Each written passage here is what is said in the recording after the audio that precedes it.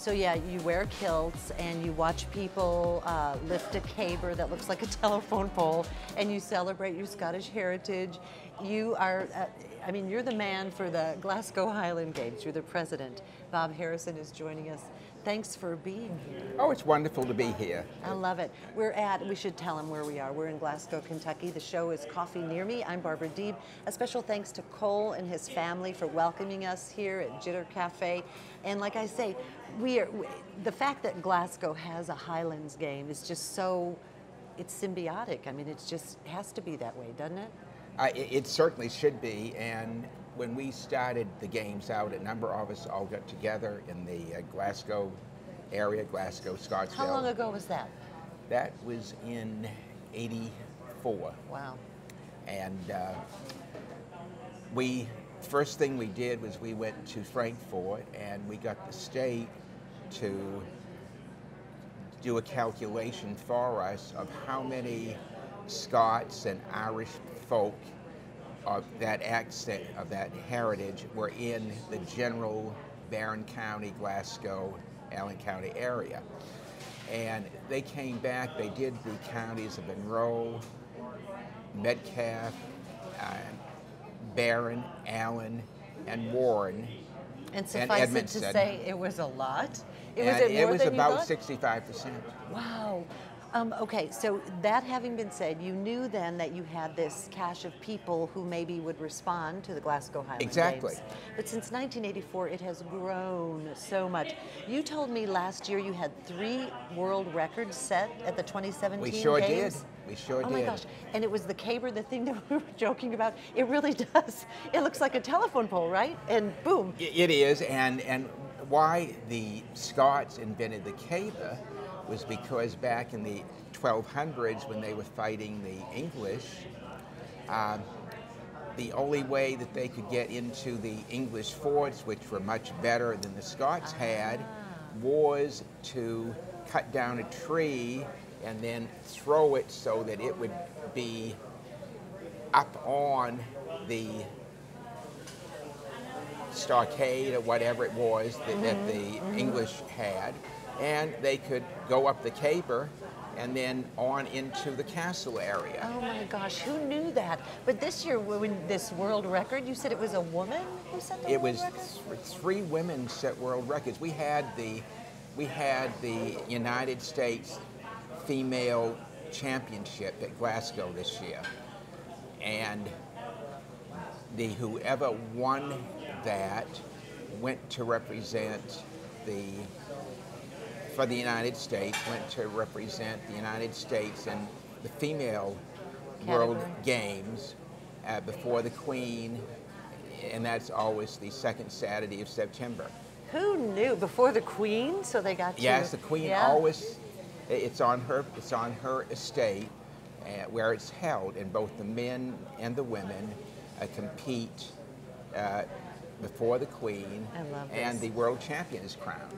Now you know, uh, you um, you have a, a kilt, or you have a plaid, or you have a tartan. I'm going to say plaid for lack of a better word. Someone may not know what a tartan is, but each family has one of those. Yes. You know yours, right? Oh yes, Mackenzie. You're a Mackenzie. And so on the day, if you come to the Glasgow Highland Games, you will see lots of people wearing kilts. Oh, oh, definitely. And and I wore a kilt as a child. You did? Yes. And you grew up where? Uh, Northern Maine mountains. And you wore a kilt as a child. Yeah, at, at, at many at many times. My my grandfather, Mackenzie, uh, he died when he was 87, and as a young boy, from the time I was three until I was six when he passed, he would always take the sheep from near the barn in the corral out to a very nice valley that we had.